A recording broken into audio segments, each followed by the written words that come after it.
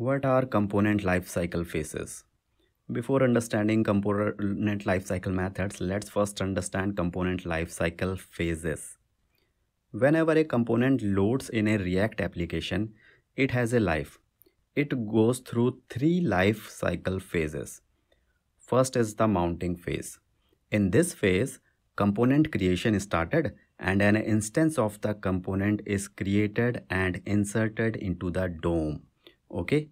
And therefore only the component is first time visible to you or any user on the page.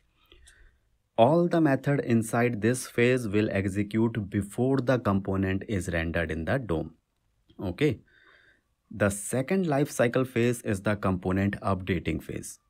In this phase if you change any property or state then the component is being re-rendered because of that change okay and after the re-rendering component again displayed to you it's like you are just refreshing the component in this updating phase the last phase is unmounting phase this phase occurs when a component is being removed from the DOM.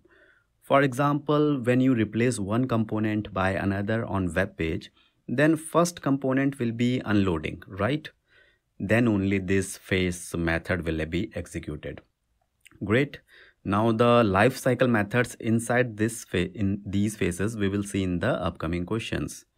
All these this minimum and to the point theory about these phases which i already explained is posted here for later revision from the book